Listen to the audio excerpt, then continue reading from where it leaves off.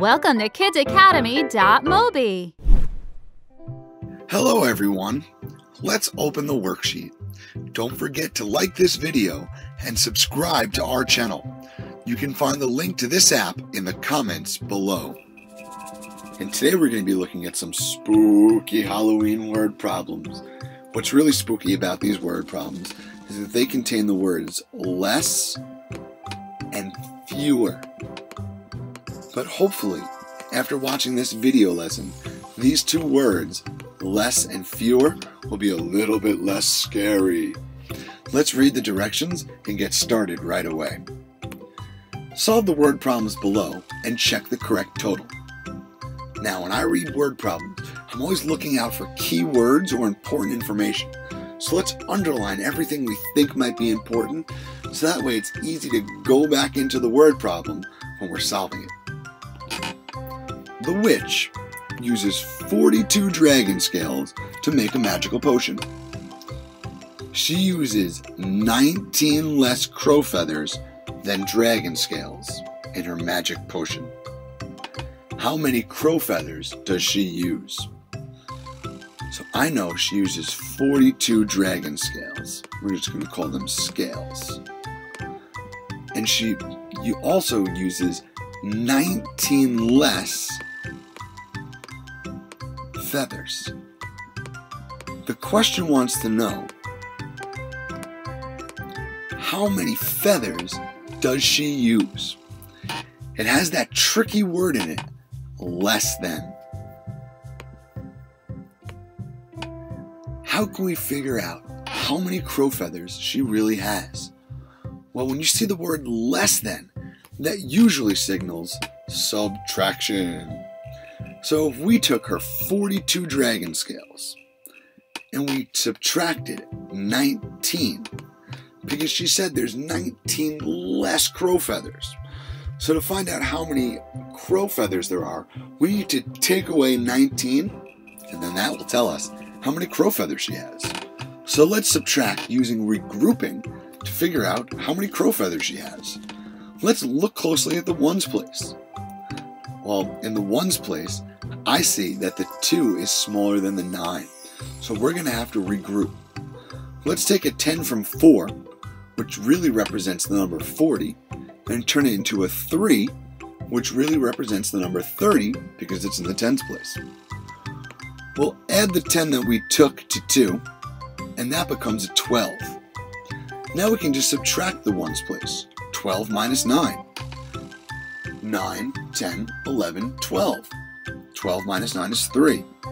And if we subtract the tens place, 3 minus 1, 1, 2, 3. 3 minus 1 is 2.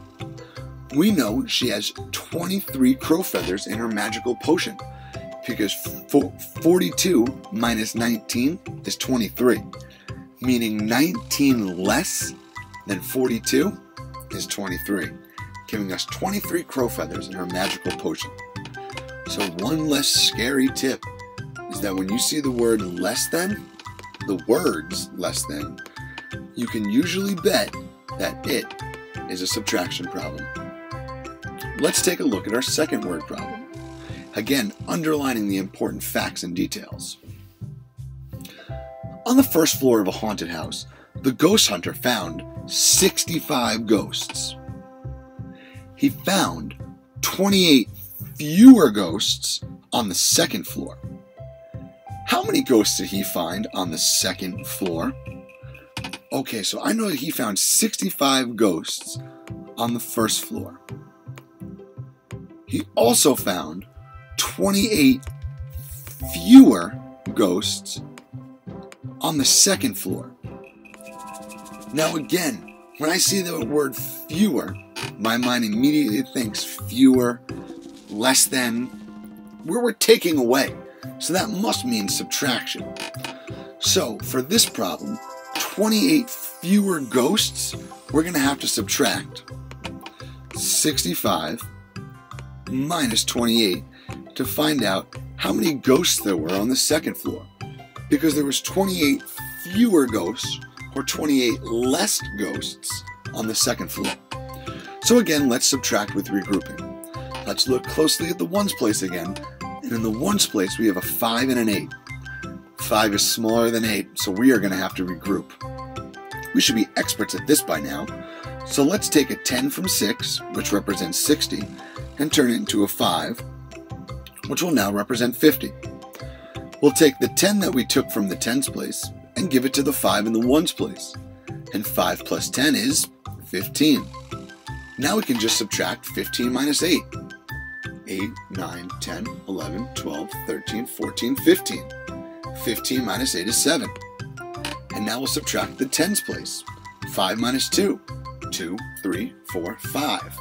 5 minus 2 is 3, giving us an answer of 37. Boys and girls, remember when you're solving Halloween or any word problems for that matter, look and underline at the important information in the word problem. Remember, those scary words like fewer than or less than usually mean you're going to be subtracting in that word problem. Boys and girls, remember your regrouping strategies and great work. We'll see you next time.